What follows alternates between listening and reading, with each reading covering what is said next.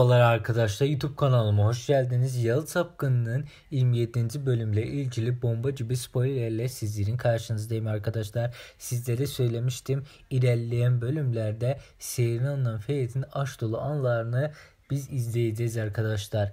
Yeni bölüm spoilerinde arkadaşlar Seyran baba evine gidiyor. Tartışmadan sonra Kazım her şeyi öğreniyor galiba. Burası kesin değil. Kazım Seyran'a bağırıyor, çağırıyor, elini falan kaldırıyor. Suna hemen Ferit'i arıyor.